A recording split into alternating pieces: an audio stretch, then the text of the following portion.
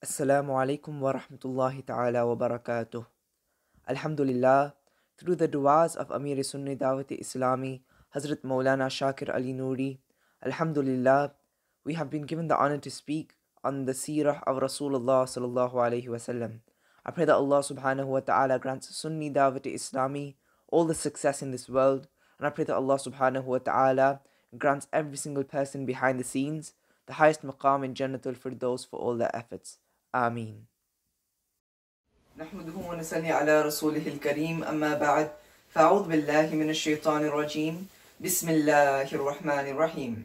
My dear brothers, sisters and fathers in Islam alaikum wa rahmatullahi ta'ala wa barakatuh الصلاة والسلام عليك يا رسول الله. الصلاة والسلام عليك يا حبيب الله. الصلاة والسلام عليك يا نور الله. صلى الله تعالى عليك وسلم.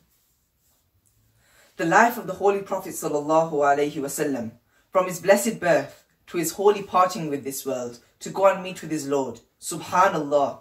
His entire life was a series of lessons, not only for Muslims, but the entire of the human race. He has always been and will always remain the best creation of Allah Azza to walk the face of the earth. Inshallah, today we will briefly touch upon the life of the final messenger of Allah sallallahu alaihi wasallam.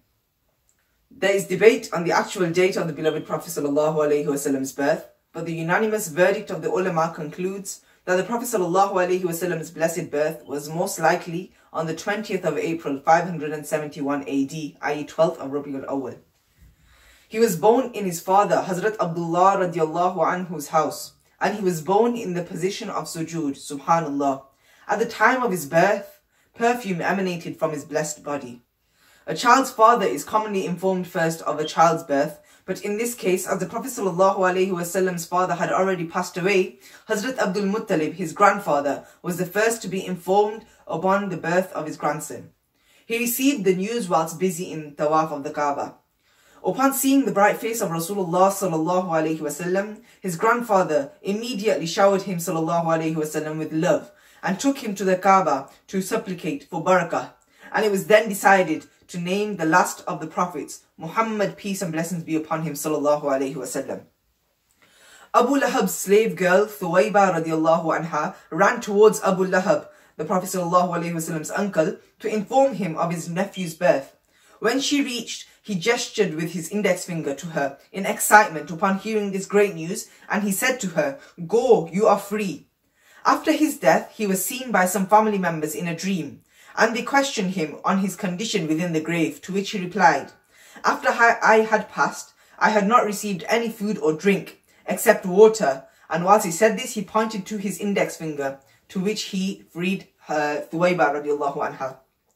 So they questioned him and asked him that, how is your condition in the grave? And he replied that after I had passed away, I had not received no food or no drink except water from this finger by which I freed Thuwayba radiallahu anha.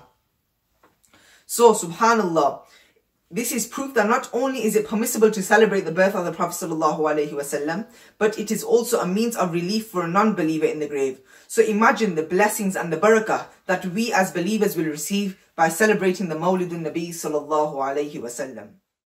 Now, moving on to the early life of the beloved Prophet sallallahu alayhi wasallam and his life as an orphan. The first person to foster the Prophet sallallahu alayhi wasallam was Thuwayba radiallahu anha the free slave of Abu Lahab. After her was the Prophet Wasallam's mother, Bibi Amina radiallahu anha, and finally Hazrat Halima radiallahu anha. It was the custom of the Arab nobles to send their children to for fosterage into the nearby villages, as this contributed to the development of the child's growth. Another benefit was that they could learn the pure Arabic spoken by them, since the Arabic of the cities was a combination of both eloquent and non-eloquent dialects. Hazrat Halima Sadiya radiallahu anha did not receive any children, so she visited the Arab lands to find a child to foster. Halima uh, Sadiya, when she saw the Prophet wasallam, who was an orphan, said to her husband Harith, We should take this orphan child with us, as it is not good to go back empty-handed. He agreed, and thus they took this treasure back with them. A treasure that came not only to illuminate the house of Bibi Amina and Halima radiallahu anha, but to enlighten every corner of the earth. It was a blessing from Allah subhanahu wa ta'ala. Under the care of Bibi Halima Sadiya radiallahu anha, the Prophet wasallam began to grow, and his physical development was better in contrast to other children. When the time came to return the Prophet ﷺ back to his mother, they received customary reward for their services. According to tradition, it was not allowed to keep him with them any longer, but due to the strong love that they had for the Prophet Muhammad wasallam, they couldn't they couldn't bear to be separated from him. A large plague unexpectedly broke out within Mecca. Hence, they used this as an excuse to convince Amina radiallahu anha to allow them to take him back, to which she agreed. After they returned with him, sallallahu alayhi wasallam, back to their house once again, it became a place of mercy and blessings. One day, the Prophet ﷺ asked Bibi Halima anha, I don't see my brothers and sisters. Where do they go after they wake up? It was then replied to this that they go out to take the animals grazing. After hearing this, he ﷺ said, Mother, send me with them and due to his persistence in this, she unwillingly allowed him to go out with his brothers and sisters. In this way, Muhammad ﷺ became a shepherd of animals, a trait of all Anbiya and Rasul of Allah This was one of the first signs of prophethood that the Prophet ﷺ exhibited during his early life as a child. So subhanallah, the Prophet ﷺ, he was a shepherd and this was one of the traits of all the Anbiya from the beginning of time till the Prophet ﷺ, all the Prophets, all the Nabis were shepherds. They worked on the fields. And this was one of the traits of the Prophet ﷺ that showed his nabuwah in his early in his early stages in his life. Now moving on to Shaqq-e-Sadr, the opening of the chest of the beloved Prophet Muhammad ﷺ. While in the pasture one day, the son, a son of Halima radiallahu anha ran back to the house and cried to her, Mother, something has happened. Three men wearing white clothes made Muhammad sallallahu alaihi wasallam lie flat on his back and they tore open his chest. I was afraid of them and ran back to tell you. Hearing this, Sayyida Halima radiallahu anha and her husband fearfully ran towards the field where the Prophet sallallahu alaihi wasallam was. And as they entered, they saw him sallallahu alaihi wasallam in a state of bewilderment and fear. Sayyida Halima radiallahu anha asked the Prophet sallallahu alaihi wasallam whilst she embraced him, O Muhammad sallallahu alayhi wasallam, what happened to you? To which he wasallam, he replied, Three people in extremely white clothing approached me and opened up my chest. They removed something and replaced it with another and sewed it back altogether. I felt no pain whilst this occurred, he wasallam said. She, i.e. Sayyida Halima radiallahu anha and her husband Harith became increasingly afraid after hearing this. He said, I fear that he has been, he sallallahu wasallam, has been affected by black magic. You should return him to Mecca as soon as possible. Fearing that she could no longer protect him, she decided to return him sallallahu wasallam to Mecca al-Mukarramah. Upon returning him, she was questioned by Rasulullah sallallahu wasallam's beloved mother, Bibi Amina radiallahu anha. She asked him, Halima, you were so eager to take my son the second time. Why are you returning him so soon? Halima Sadiya radiallahu anha uh, replied and relayed back the story to her, to which Amina radiallahu anha replied, Certainly not. My beloved son can never be a victim of such things. He has unimaginable glory. So what what Bibi Halima radiallahu anha said to Bibi Amina radiallahu anha was that the Prophet sallallahu alaihi wasallam he she was afraid that he had been affected by black magic. Bibi Amina radiallahu anha she said that no my son cannot be affected by black magic. Subhanallah. So it was at this moment that Bibi Halima radiallahu anha left the Prophet sallallahu alaihi wasallam in the care of his mother Bibi Amina and bid farewell to him. The Prophet ﷺ had to overcome many hardships during the early stages of his life, with the passing of his father before his birth and the passing of his mother at the tender age of six. Through these hardships, the Prophet ﷺ was able to find peace within himself by worshipping the one and only Allah subhanahu wa ta'ala. It was these hardships which allowed him to build upon his character, to such an extent that even before proclaiming prophethood, he was known by all the people in Mecca as As-Sadiq and Al-Amin, meaning the honest and truthful.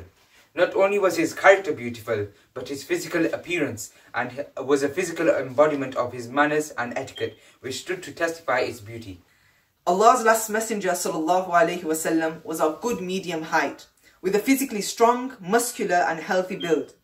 He was slim and without a protruding stomach. He had a wide chest and broad shoulders. He had a sun-tanned, whitish fair complexion. His face was slightly oval and well featured.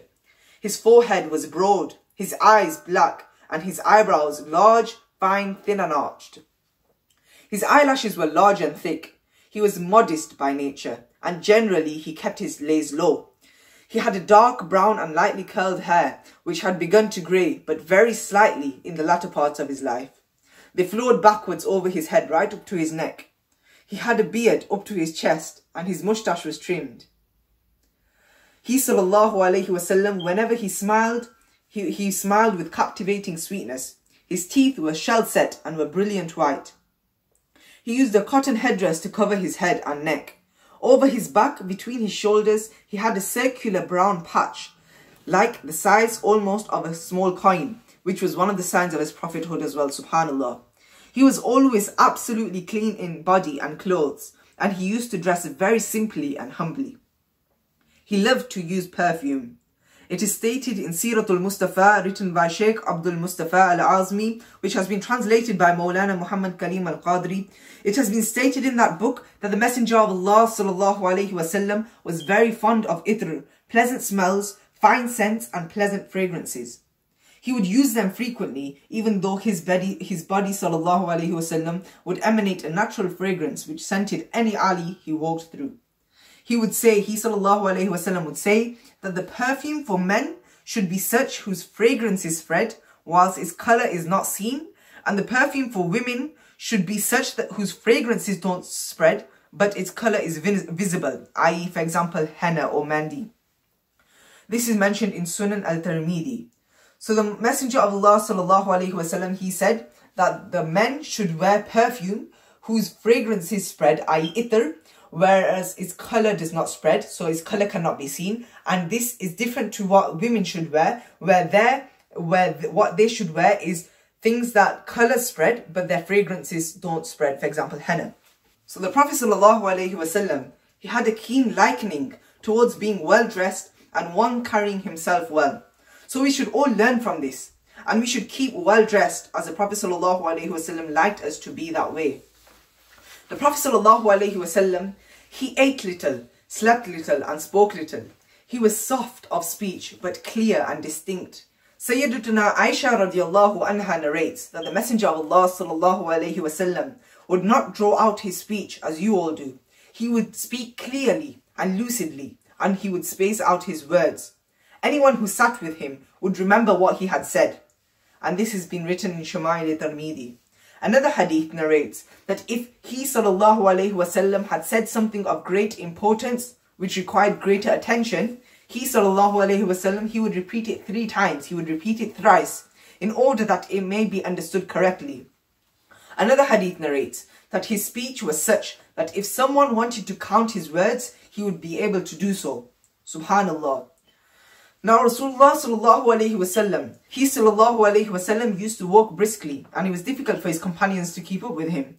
His walking was unique in its own way. The Messenger of Allah sallallahu alayhi wasallam would walk with dignity. When he walked, he would walk with vigor, strong limbs and without languor. Sayyidina Ali radiallahu ta'ala anhu narrates that the Messenger of Allah sallallahu alayhi wasallam would walk with a slight inclination, i.e. he would walk with a slight humbleness and it was as if he was descending from a rock walking down a slope. Sayyidina Abu Hurairah radiallahu ta'ala anhu narrates that I never saw anyone who walked faster than the Messenger of Allah sallallahu alayhi wasallam. It was as if the earth folded itself up for him. We would tire ourselves out in exertion walking with him, but for him it was effortless. And this has been also been written in Shama'il Tirmidhi. So Rasulullah sallallahu alayhi wasallam's movements were agile and active. So we learn from this that the Prophet ﷺ had a likening to having good health and fitness. It has also been stated that the Holy Prophet ﷺ he never ate to his full. So we should take a lesson from this and we should persevere to be like him in every way, including how he would keep himself in good shape. His presence was dignified and imposing. He was truthful, sincere and unselfish. This was the beauty of the Holy Prophet ﷺ that he possessed in every manner. He possessed beauty in his appearance, in his spirituality, in his character and manners, and even just being in his presence, it was a scene of complete beauty and peace. Subhanallah. When he وسلم, started to preach the oneness of Allah subhanahu wa ta'ala within Mecca and the teachings of the Holy Quran, which were against the beliefs of their forefathers, the hostility of the people of Mecca fell upon him. They were angry and hated him because he, the Messenger وسلم, was now trying to demolish their evil hold on society. The last Messenger وسلم, therefore had to face all sorts of difficulties, oppositions, threats, and even boycotts for almost three years. He braved their hostilities, taunts, and ridicules in a manly way. He showed perseverance, patience, and courage, and remained steadfast in his mission, which was entrusted to him by Allah subhanahu wa ta'ala. When the spreading of the divine message became impossible in Mecca, he then migrated to Medina. Before entering Medina, which was formerly known as Yathrib due to the extreme poverty and illness that thrived within, the Prophet ﷺ brought many blessings and cures to it that it changed from a city of poverty to a city of cure and riches. The migration to Medina changed the situation completely, from a position of weakness and helplessness to one of strength and power. In Medina, he preached unhindered for another 10 years until his blessed passing. Here, he organized his followers into a well-knit and disciplined community. Now, Islam was free to prevail. It was here that the first mosque of Islam was constructed, at Quba, and it was also here that the first to prayer was made. It was also here that the direction for prayers was changed from Masjid al-Aqsa to the sacred, mo sacred mosque in which the holy Kaaba was housed in Makkah al-Mukarramah. One of Rasulullah Wasallam's purposes in this world was to propagate the final, absolute, divine message, Islam, to the whole of creation and make final the proof of Allah Azza How successful was he in this?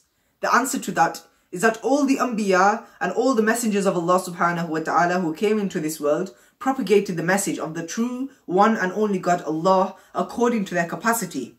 However, if you gather the efforts of all the prophets and the Anbiya and try to compare them to that of the Prophet Wasallam's efforts, it would be akin. It would be like comparing a candle to the sun, subhanallah. This is the magnitude to which His Excellence wasallam was successful in spreading the message of Islam. The propagation of the message of Allah subhanahu wa ta'ala carried out by the beloved Prophet sallallahu alaihi wasallam was revolutionary to say the least. Khatamun Nabiyyin, the last of the Prophet wasallam, completed the mission of all Anbiya from, from Hazrat Adam alayhi salam to Hazrat Isa alayhi salam so precisely that Allah subhanahu wa ta'ala himself states in the Holy Quran. اليوم أكملت لكم دينكم وأتممت عليكم نعمتي ورضيت لكم الإسلام دينا that on this day I have perfected your religion for you and completed my favors upon you and have chosen Islam as your way of life. This has been written in Surah Maida, verse number 3. The 11th year after Hijrat was when the sad passing of the beloved Prophet ﷺ occurred. Rasulullah ﷺ possessed knowledge of his death. The Holy Prophet ﷺ was well aware of his demise before its occurrence and he informed people of it at different occasions. This is evidence of his ilm al-ghaib, knowledge of the unseen. Hence, in Hajjatul Wada, Rasulullah ﷺ said, I may not perform Hajj with you after this. And one of his sermons relayed a similar message. The Prophet ﷺ passed away shortly after he became sick. Historians are divided regarding the time of the beginning of the sickness. Nevertheless, on the 20th or the 22nd night of Safar, 11th AH, the Prophet ﷺ went to Jannatul Baqi. And after returning, his health became slightly indisposed. It was a turn of Umm al-Mu'mineen Sayyida Maymuna to host him. On Monday, his condition وسلم, had worsened, worsened, and upon his wish, with the permission of all the Azwajay Mutahharat, he stayed at the home of Sayyida Aisha radiallahu anha. Rasulullah sallallahu led all the salah in Masjid Nabawi for as long as he had the strength to do so, and appointed Hazrat Abu Bakr Siddiq radiallahu anh as Imam afterwards. The sickness continued in escalation. However, on the Monday of his demise, he felt an improvement in his condition. Therefore, he lifted the curtain of his home and was able to see the people performing Fajr Salah as his home was adjoined to the masjid. His home was connected to the masjid. People saw this and became, ex became excited, asking him, Do you want to come into the masjid, O Rasulullah sallallahu alayhi wasallam? But he sallallahu alayhi wasallam gestured no to them and he closed the curtain of his home. If only they had known that this was the last time that all the Sahaba were able to see the most beautiful creation of Allah uh, subhanahu wa ta'ala. Hazrat Anas bin Malik radiallahu anhu narrates that the face of the Prophet sallallahu alaihi wasallam was like a page of the Holy Quran in that it was white. The Prophet ﷺ thereafter lapsed into states of consciousness and unconsciousness. At this time of his blessed passing, his breathing became heavy, his lips suddenly moved, and the following was heard. As-salatu wa ma malakat aymanukum. Rasulullah sallallahu alayhi wasallam said, Salah and take care of those under your care. Sayyida Aisha radiallahu anha sat beside him and held him to her chest and without notice Rasulullah lifted his hand to the sky and pointing with his finger he said three times Balir rafiqil a'la Now I desire none but only the rafiq a'la These words were on Rasulullah blessed tongue when as his head dropped down and his eyes wide open staring at the roof his soul traveled to meet with his creator Allah subhanahu wa ta'ala. Inna lillahi wa inna ilayhi raji'un. Indeed to Allah we belong and indeed to Him we shall return. Surah Al-Baqarah verse 156. So there are many lessons to be learned from the life of the beloved Prophet Muhammad sallallahu alaihi wasallam, from the message he lived, he lived to preach of the one and only God Allah, to the beauty of his character, by which even the kuffar of Mecca entrusted with him their belongings. So we must allow His Excellence sallallahu alaihi wasallam to remain an integral part of our lives as an example of the most excellent man to walk on the face of the earth. Subhanallah. I pray that Allah subhanahu wa ta'ala first of all gives us the tawfiq to act upon what we have said today and follow the example of Rasulullah sallallahu alayhi wasallam. I pray that Allah subhanahu wa ta'ala allows us all to follow the example of the beloved Prophet Muhammad sallallahu alayhi wasallam and remain steadfast upon the deen. I pray that Allah subhanahu wa ta'ala forgives us for any mistakes that we have made. And I pray that Allah subhanahu wa ta'ala accepts what we have said today. Ameen. Illa al-balagh. Assalamu alaikum wa rahmatullahi ta'ala wa barakatuh.